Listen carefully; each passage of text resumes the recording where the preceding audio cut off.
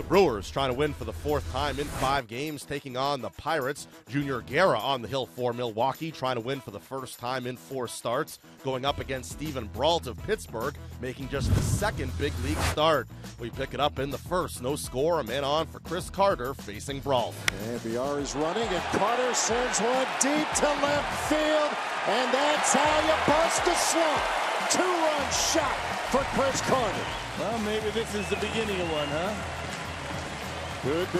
Yep, a 3-2 pitch, and well, getting a pitch down the middle with Villar running, of all things, and well, Chris Carter giving the Brewers a 2 to nothing lead.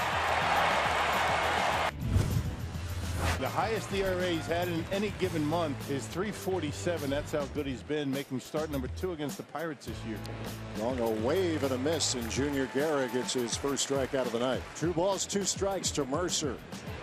Got him.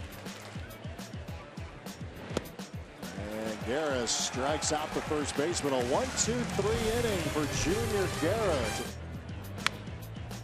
That is slapped to Villar. And Junior Guerra has himself another one, two, three inning. And he strikes him out.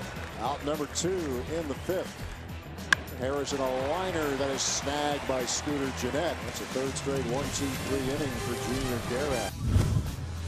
And Keon Broxton is coming up. The pitch, swing, and a liner to the gap in left center.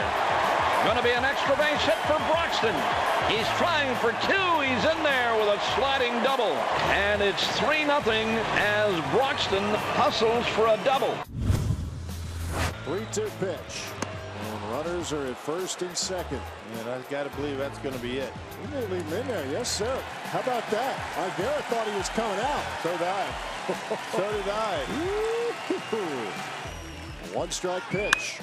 Hot shot off the umpire and by Gennett. Boy, that looked like, I think that did graze Mike Winters. That was right in the air. I mean, had it not hit him, I think Scooter's going to be able to catch it, but the umpire's in play. They hit him in the head. It's a dead ball. It's a base hit, and everybody has to advance one base. But his night is over. Junior Guerra, heck of a job tonight. Eight and two-thirds inning. Innings. Eight two-thirds innings, a run, just four hits, and a standing O. Two two out, 3-1 Brewers here in the ninth. First pitch swinging, ground ball, Perez bobbles it, but recovers in time, and the Brewers win it.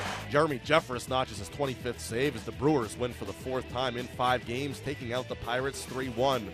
Junior Guerra gets the win, falling just short of a complete game, going eight and two thirds frames, allowing one run on four hits, striking out five. Scooter Gennett extends his hitting streak to nine games. Francisco Cervelli had to exit the game in the eighth inning after he was hit by a pitch while catching.